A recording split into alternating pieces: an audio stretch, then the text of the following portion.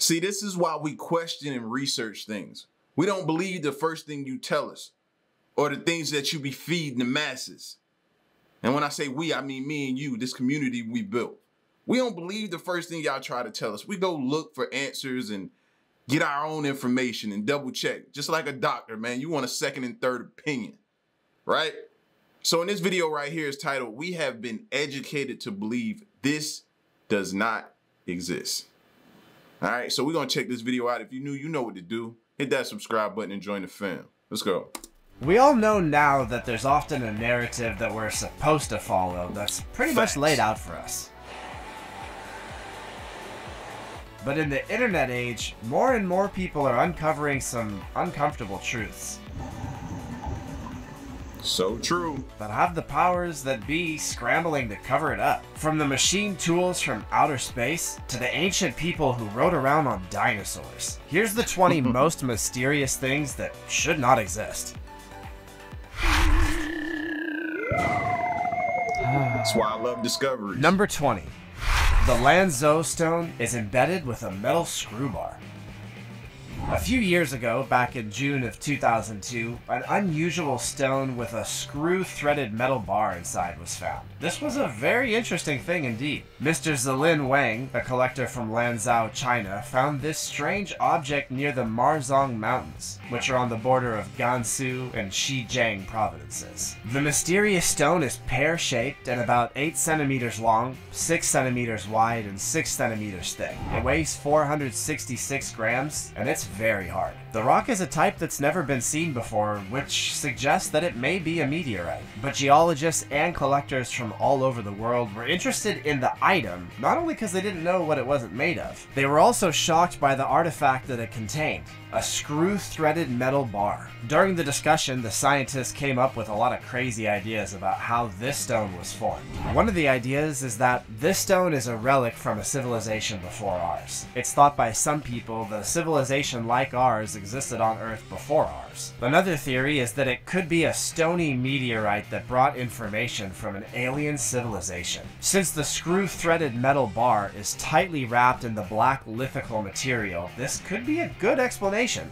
The bar's entrance into the stone and its exposed end don't look like they were made by humans. The truth is, no one knows what this stone and threaded object are, but it could be a clue though. to something truly amazing.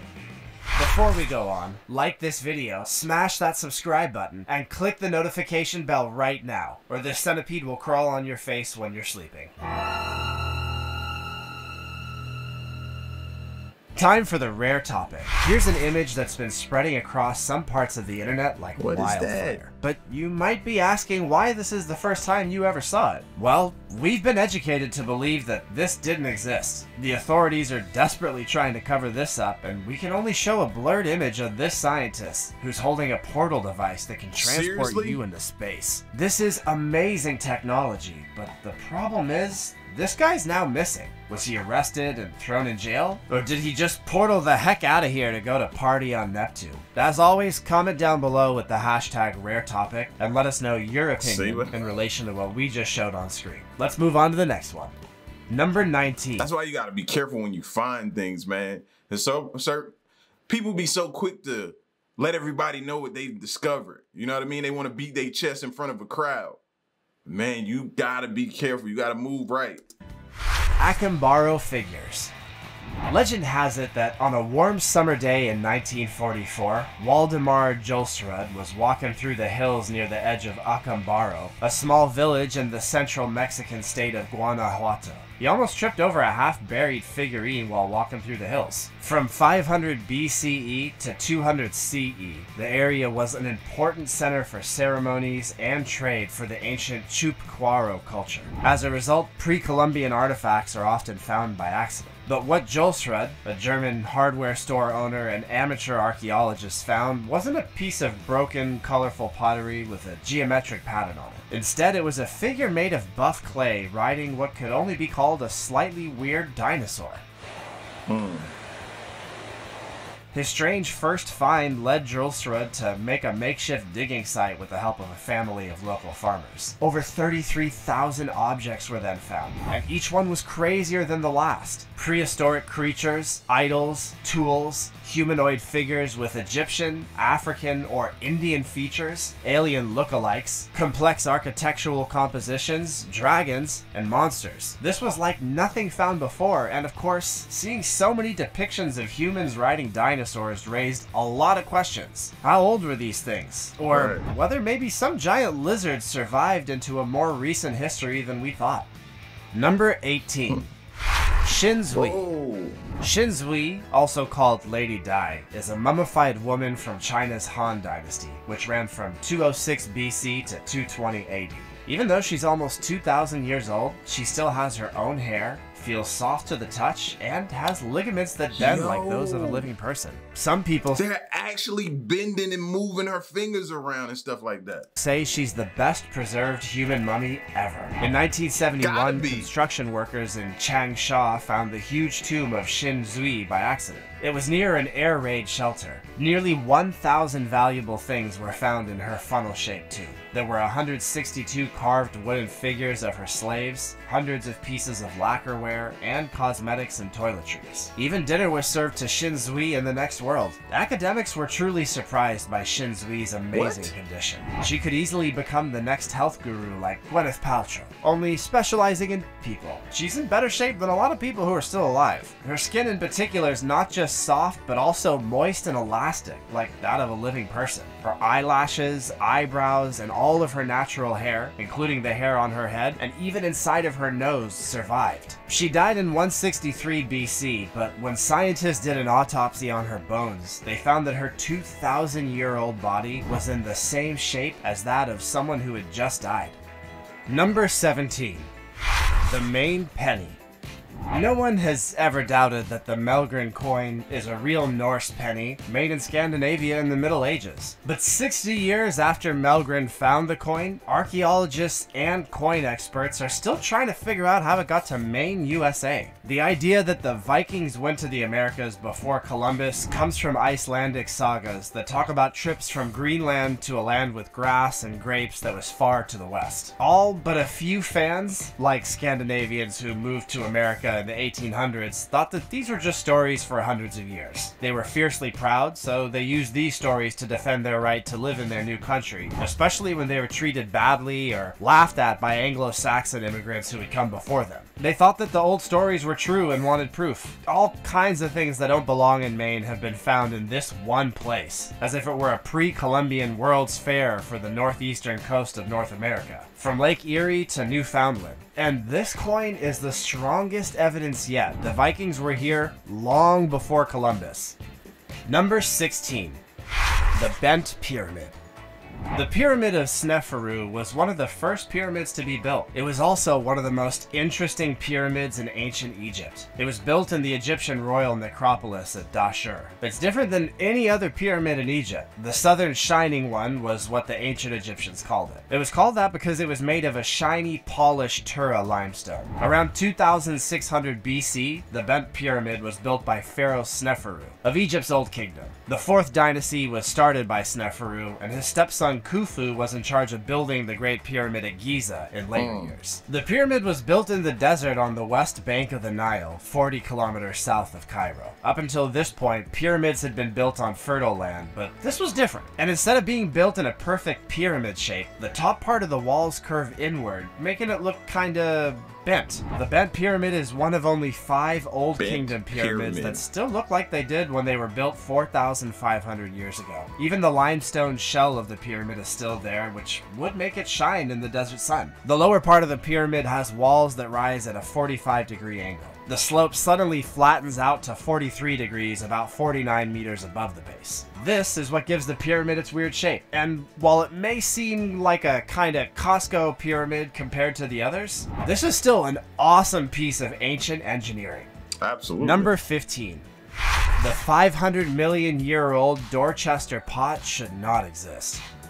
In spite of what most people think, archaeologists often find old things that seem to show a level of technology that, according to mainstream science, shouldn't have existed at the time that they were carbon dated to. These are called OO parts, short for out of place artifacts, and most of the time they're studied briefly and then forgotten. Science may seem like it's omniscient, but sometimes on the route to getting to the right answer, we get some things wrong, and it can sometimes take a little bit of time to correct it. Now we get to the most interesting part, which is the Dorchester pot. This pot is a beautiful metal container that's 4.5 inches tall and 6.5 inches wide. It has a geometric pattern that's embossed with bright silver. To make something this beautiful would take a lot of skill and care. But the main reason that the Dorchester pot is so mysterious and gets so much attention isn't just because it's a beautiful piece of art. The argument is that the pot was stuck in the pudding stone inside a rock or boulder. A few hmm. American scientific articles published strong evidence to back up these claims at the time. Obviously, if this is true, then we need to understand how this happened.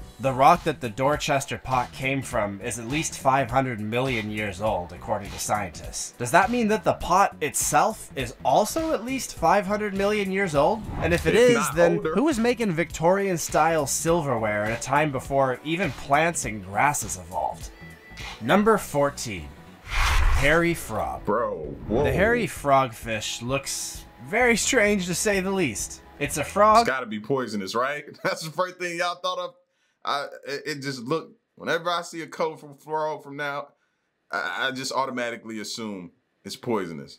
The hairy frog. Number 14. Hairy frog. The hairy frog. And it's just the stomach area and a few other parts, but you know what I mean? Them all where the whole body is co- colored. Yeah, yeah.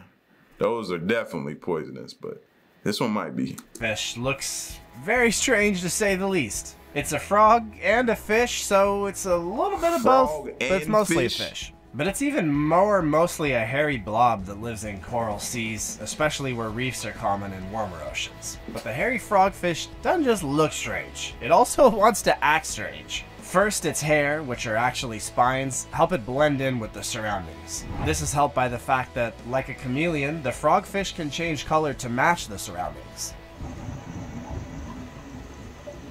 They can't swim either, which you might think is a bad thing for a fish. It doesn't look like that's stopping them, though. They don't like to waste energy following things around, so one extra long spine hangs over their lips and acts as bait. When prey swims by to look at the bait, then the frogfish can really move. Even I the didn't even think he could move that fast. The way he was just, he was just laying like, yeah, yeah, yeah, yeah. He definitely, he definitely threw me off with that look, man. newest slow motion cameras have trouble catching the frogfish's attack because it happens Bro. All right, he got me. For sure got me. Just like he got those fish. Yo. Even the newest slow motion cameras have trouble catching the frogfish's attack because it happens so quickly. It only takes one six thousandth of a second to bite, making it one of the fastest eaters in the whole world.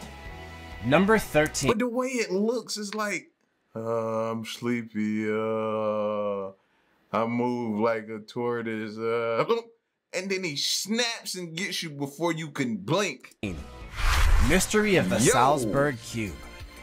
The now famous Salzburg Cube, also called the Wolfsegg Iron, is a very strange ancient artifact that was found in 1885 in Wolfsegg am Hausruck, Austria, inside lignite that had been mined there. A worker at Braun Iron Factory in Schondorf, Austria, found the object when he was breaking up a block of lignite that was 20 million years old. Later in 1886, mining engineer Adolf Gurlt told the Natural History Society of Bonn about the strange, unexplainable object. He said that it was made of iron, had a thin layer of rust on it, and had a specific gravity of 7.75.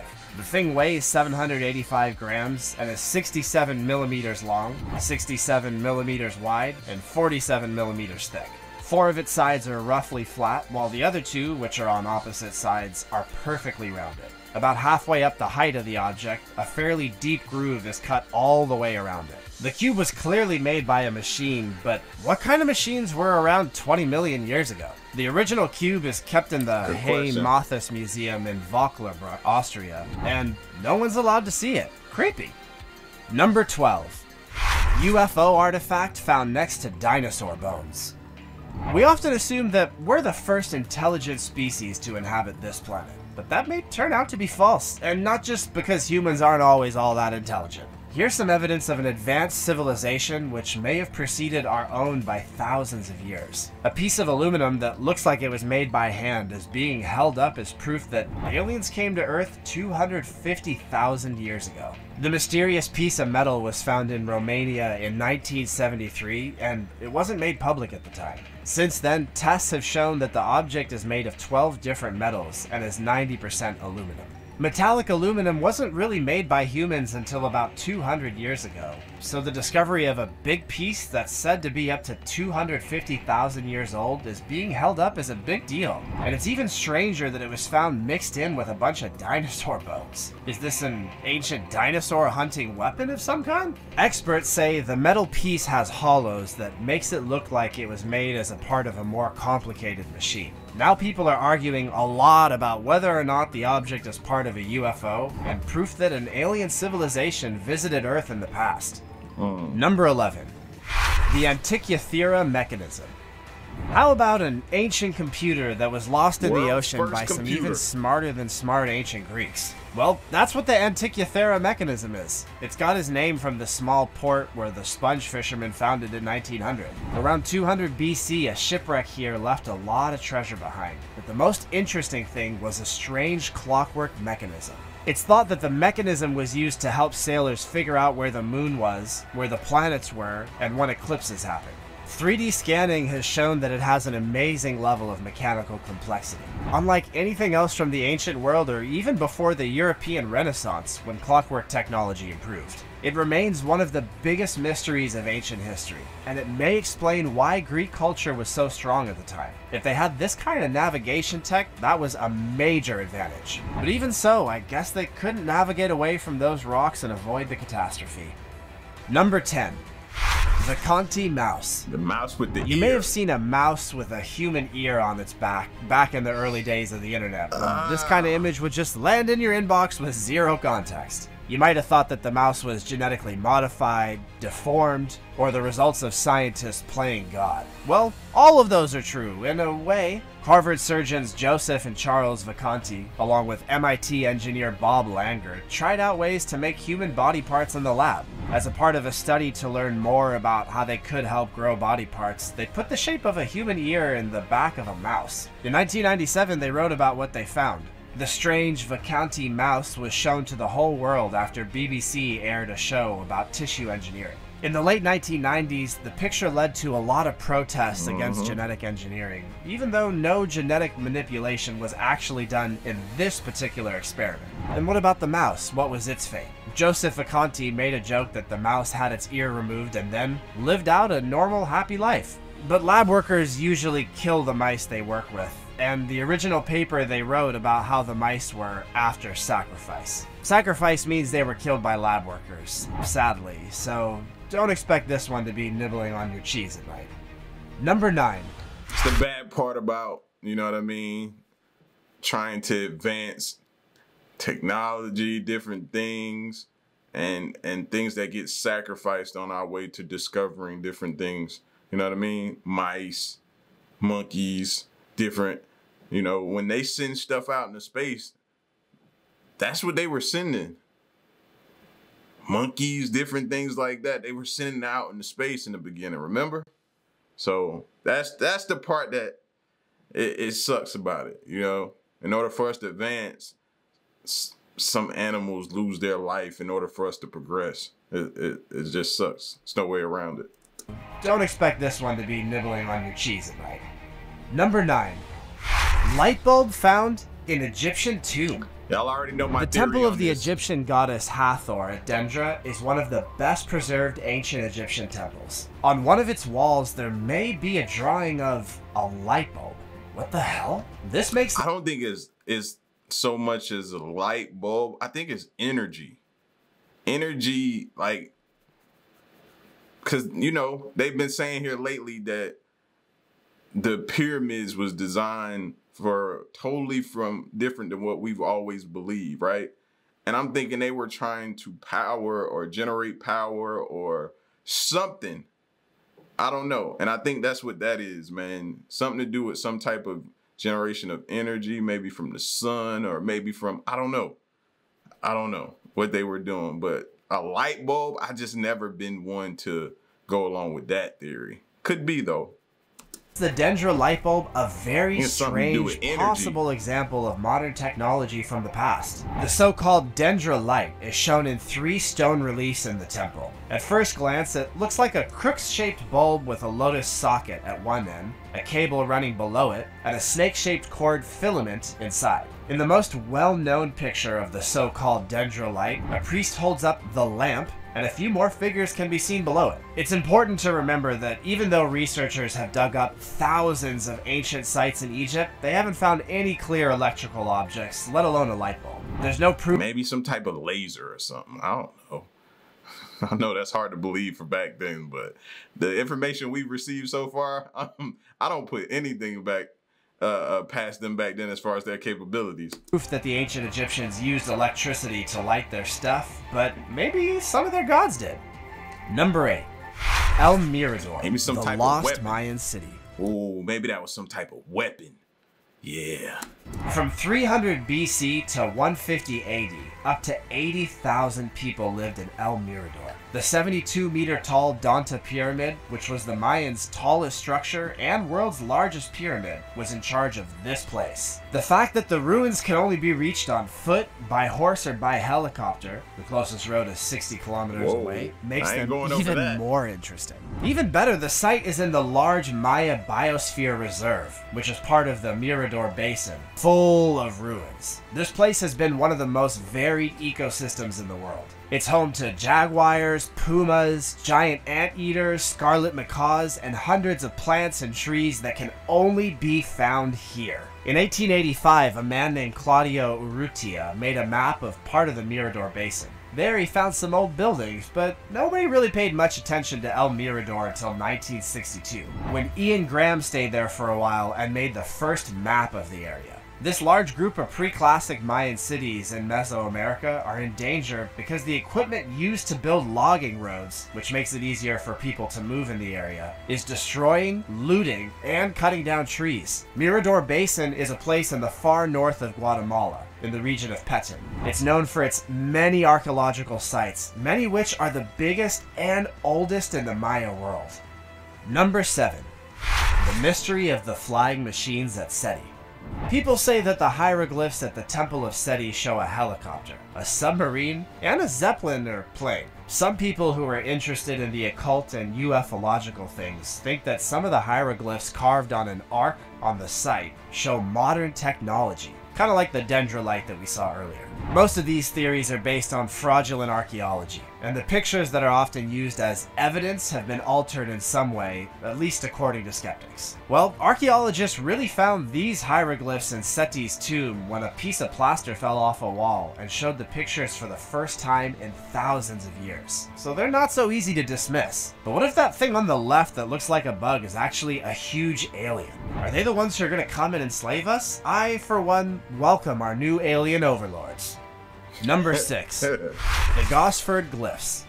If you were asked where you would most likely find a secret stash of Egyptian rock carvings, you'd probably say in North Africa, right? Well, how about Australia? Brisbane Water National Park, near Gosford on the New South Wales Central Coast, would be one of the last places that most people would expect to find such ancient things. But that's where more than 300 symbols of Egyptian gods, chickens, bees, and other weird critters are carved into a rock face. They're a natural crypt made of two vertical sandstone walls that are 3.5 meters high. Where did they come from? One popular All this stuff is the key to life.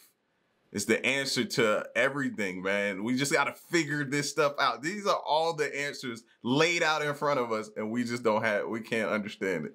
That's what's so frustrating, man. Seriously theory is that they were made by Egyptians who sailed to Australia about 5,000 years ago, got shipwrecked, and then carved their story into the rocks here after being lost at sea. Does this claim have any truth to it? Of course not. The spokesperson for the NSW what? National Parks and Wildlife Service said, We learned about the engravings in the early 1980s, which is when most of them were thought to have been made. Even though there's a lot of evidence that the so-called hieroglyphs are a complete hoax, there's still a lot of interest in them, and many curious people visit the site each year. No matter where the sandstone carvings came from, it's hard to believe you're only a 30 minute walk from the suburbs. One day we're gonna figure it out. And this whole time we were believing it was a hoax.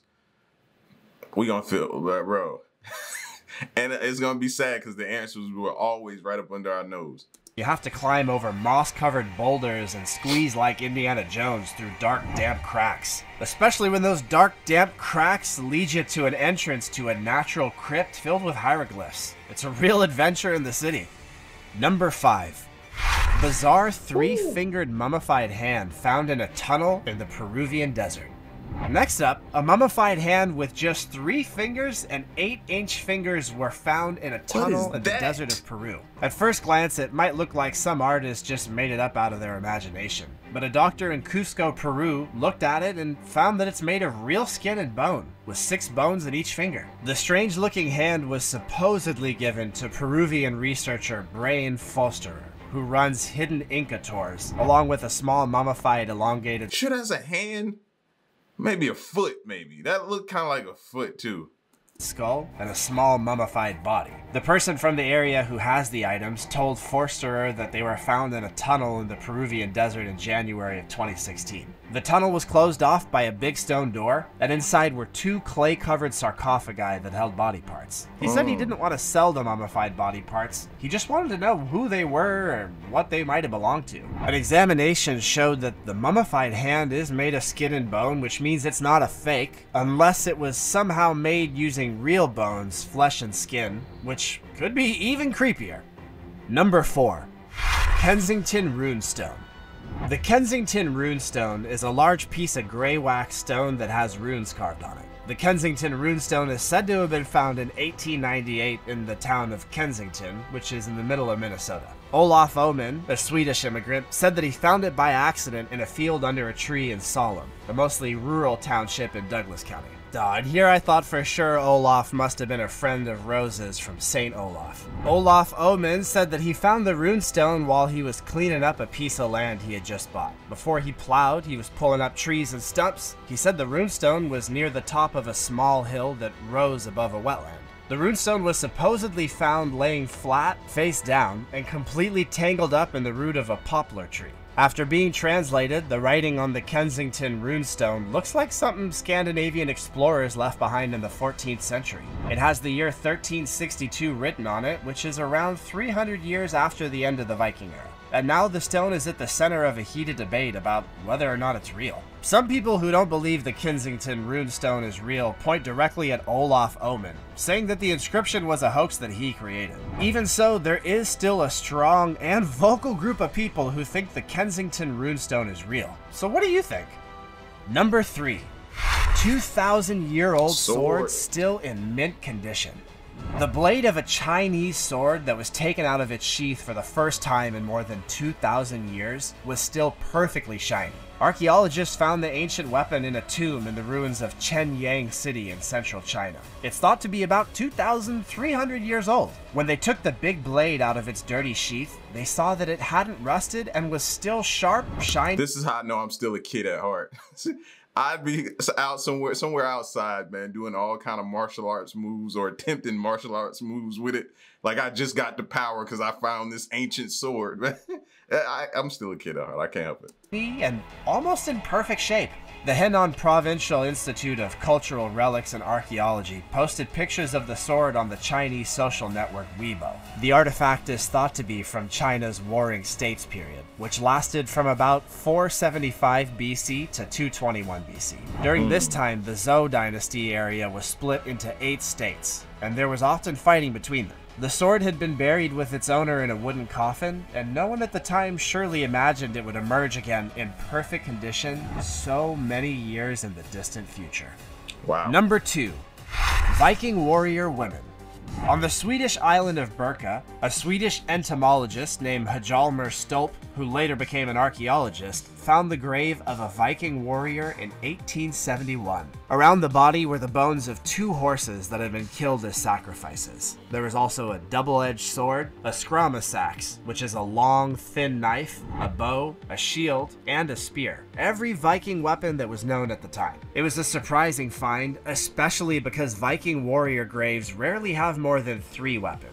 There was also a full set of Hnefatafl, which is sometimes called Viking chess, and it shows how a war leader thinks about strategy and how much power he has. Weapons, game pieces, and the location of what is now called grave BJ 581 all showed that the person buried there was a well known and respected Viking warrior. No one was really ready for what happened when DNA tests were made in 2017 and a new story started to come out. Even though a famous warrior was in BJ 581, that person wasn't a man. This was a strong warrior woman. Women had some of the best jobs in the Viking world, including being some of the best warriors. This was different from the way that most other people lived at that time. Hell, And that's crazy because you don't hear about too many women warriors back then.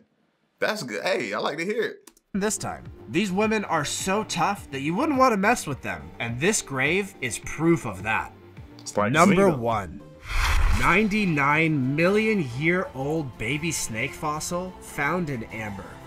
The world's first known snake embryo Baby from snake. 99 million years ago was found recently in Myanmar. It was preserved in amber. What's fascinating is what the fossil can tell us about how snakes have changed over time. I Their research know. showed that the small animal, which is about 5 centimeters long, is a new species called Xiaophis myanmarensis. The fossil skeleton doesn't have a head, but scientists think that it couldn't have been longer than 8 centimeters. But what's really amazing about this find is what the tiny fossil says about the animal that got caught. Ancient snakes from Argentina, Africa, India, and Australia are all related to this one. Snakes are fragile, so they don't preserve well, and the young are even more fragile. This new fossil gives scientists much needed information about the ancient snake's journey from Australia to Myanmar.